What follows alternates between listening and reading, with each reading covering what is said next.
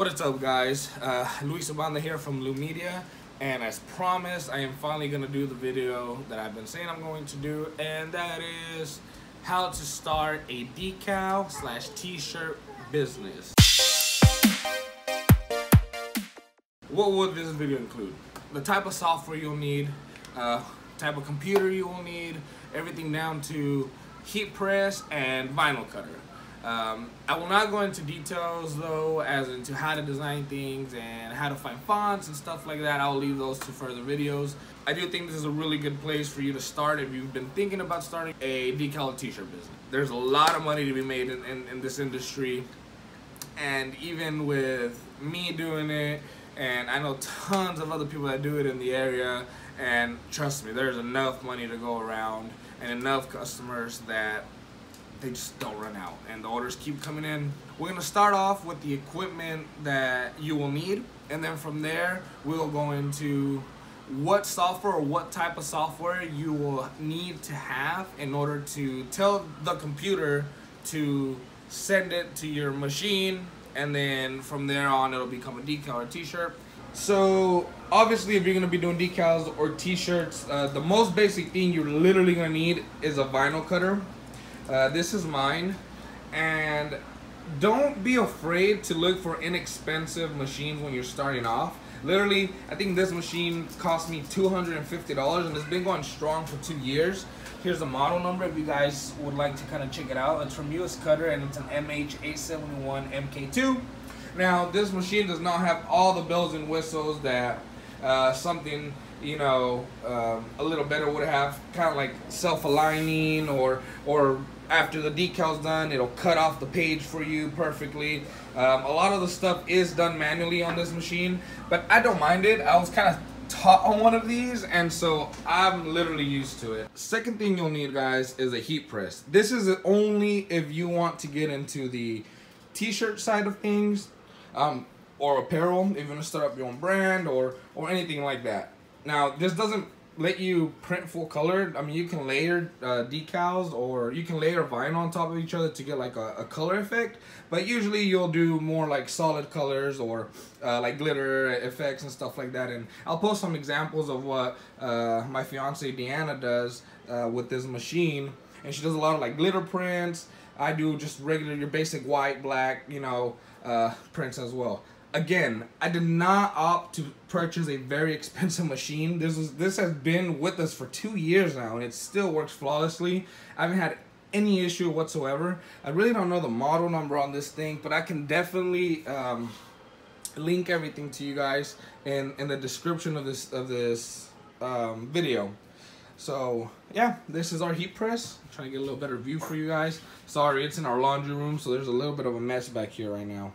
Now, if you're if if you are more of a you, you're more crunch for space, we do also have a Cricut Explore Air 2. Um, this literally almost cost as much, if not as much, as my big vinyl cutter. Uh, but we really, really enjoy using this one because this does have a variety of um, things that it can cut and this is really more so used by my fiance Deanna. She does more of her cuts on this, and it's just really, really compact. It can't go over uh, 12, uh, 12 in width. I think you can buy bigger mats uh, to print longer. Uh, we haven't tried it. We only use the 12 by 12 that, that came with the machine. But all in all, it's really, really user friendly. Everything is uh, online based as far as the software. And I mean, it does tons of things, guys. The third thing you will need, obviously, you need vinyl.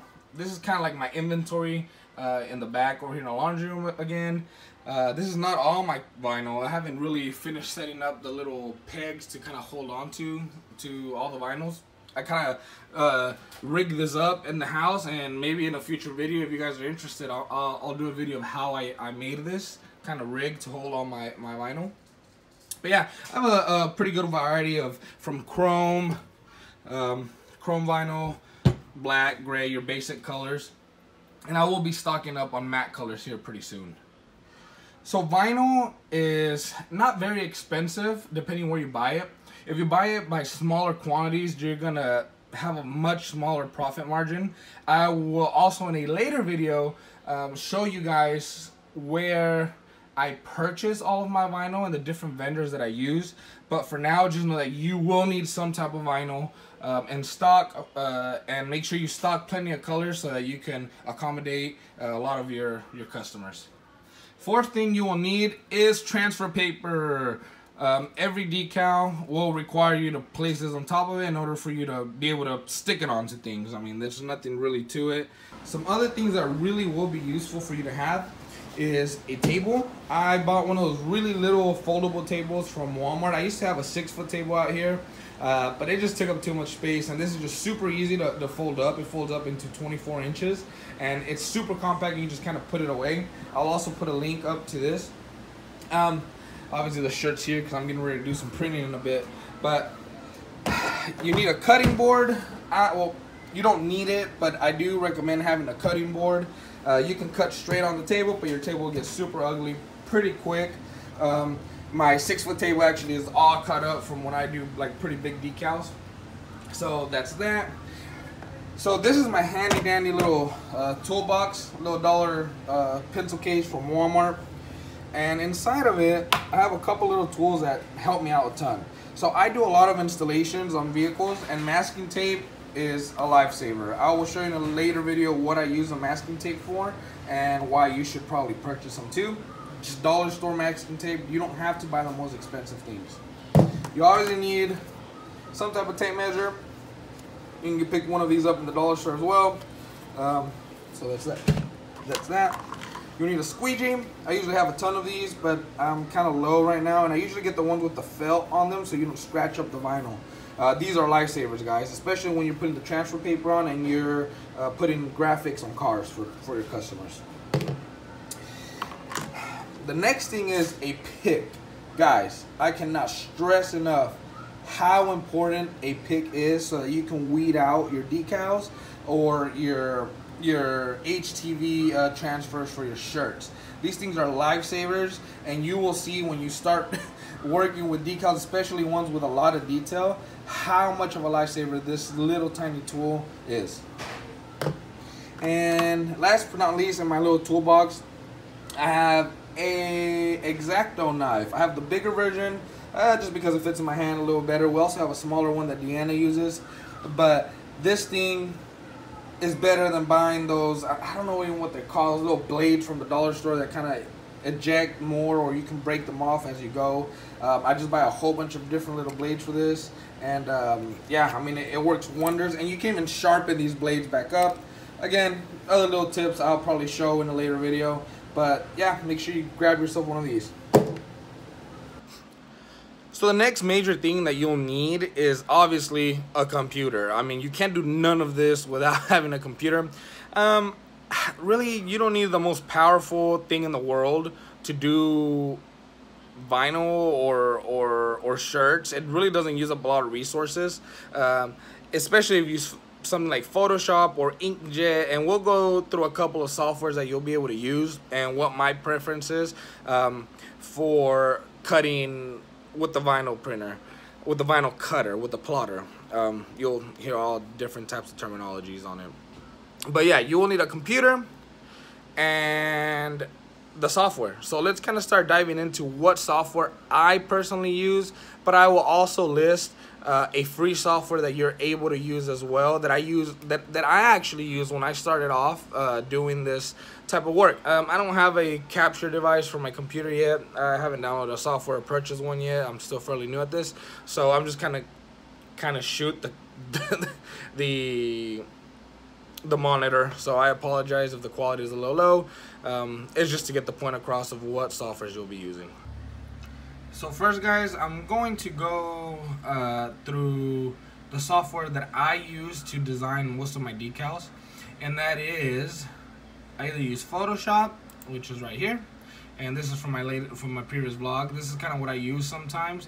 Um, I'm more familiar with Photoshop than with this next software that I use. I've been learning a little bit more. Um, and the next one is Illustrator. And the neat thing about Illustrator is that it's pretty much a vectorizing software and you'll learn that word or that terminology here pretty pretty strongly um, in the decal business or in the graphic business and and Uh, but yeah, this is pretty much the standard, I would say, right now for any type of design for either decals, large billboards, or um, anything. I mean, really anything. So this is a, a little design I was working uh, on, or I was kind of fixing. Uh, a customer sent me this design, and I was just kind of uh, fixing a couple of things for them so that I can print them on some shirts, which I'll actually show here in a bit a, a little bit of that process. I'm not going to go really deep into that. But I, I, do use Illustrator. Now, this does cost money. The I, I believe I pay $69.99 or $59.99 for the Adobe Creative Suite. But it's, I mean, I couldn't live without it. Everything I do is with Adobe. I, I edit my videos with their softwares. I, I do all my graphics. I, I use Illustrator to create vectors and all that good stuff. So but of course, if you're just starting off, hey, you know, I, I get it. You want the most, the least expensive way to be able to to get you know designs out and to be able to get rocking and going. So I'm gonna show you this next software.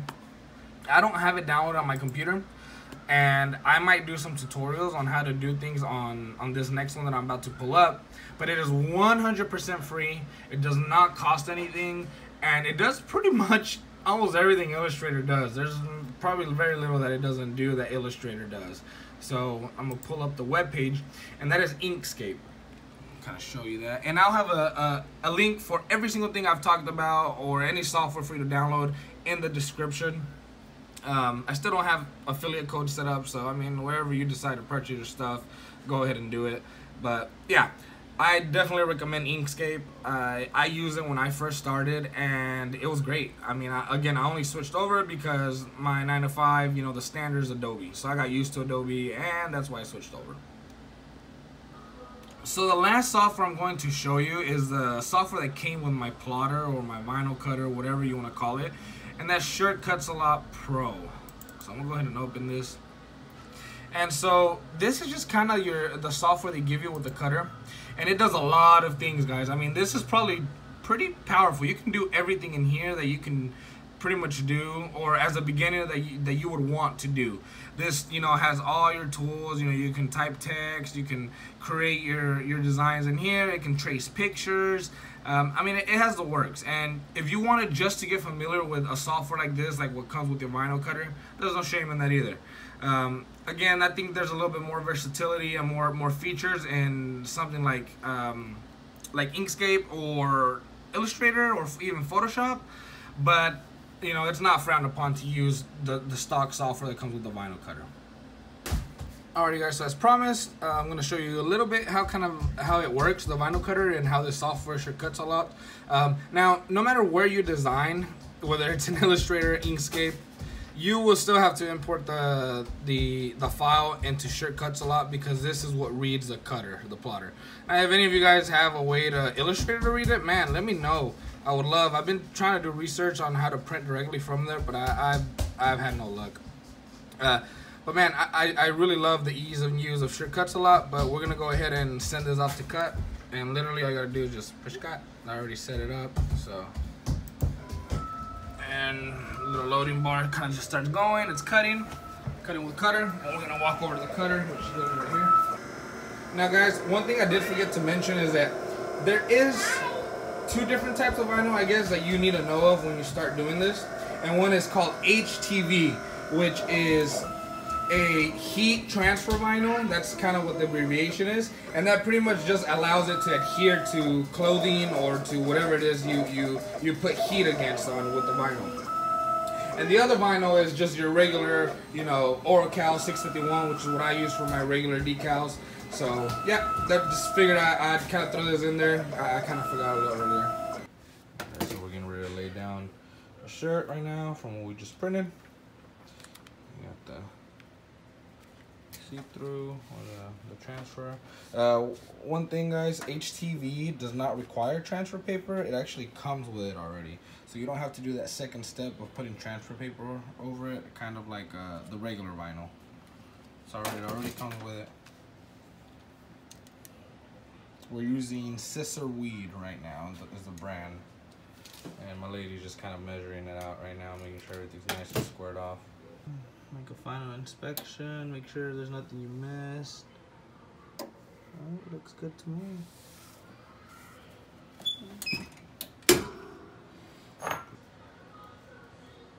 And the temperature always vary with vinyl and with uh, the different type of shirts you use.